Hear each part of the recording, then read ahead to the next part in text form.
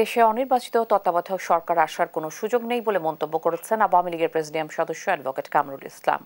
সকালে জাতীয় প্রেস ক্লাবে আহসানুল্লাহ মাস্টারের উনিশতম শাহাদত বার্ষিকী উপলক্ষে আলোচনা ও স্মরণসভায় এমন মন্তব্য করেন তিনি। সভায় সভাপতির বক্তব্যে যুব ও ক্রীড়া বিষয়ক মন্ত্রণালয়ের প্রতিমন্ত্রী জাহিদা আহসান রাসেল, আহসানুল্লাহ মাস্টারের খুনিদের দৃষ্টান্তমূলক শাস্তি ও এই হত্যাকাণ্ডের মাস্টার মাইন্ডদের খুঁজে বের করার দাবি জানান। পূর্ণাঙ্গ রায় সকল শেষ করে সে হত্যাকারীদের বিচারের মুখোমুখি করে তাদেরকে আইন আইনের আওতায় এনে তাদের ফাঁসির রায়কে কার্যকর করা হবে। আমি বিশ্বাস করি যারা তাদের নেপথ্যে ছিলেন মাস্টার মাইন্ড ছিলেন, কারণ একজন এলাকার চুনুপুটিরা এত সাহস নেই যে শহীদ আসল্লাহ মাস্টারকে একজন এমপিকে হত্যা করতে পারে। পেছনে অবশ্যই গডফাদার এবং মাস্টার মাইন্ড ছিল।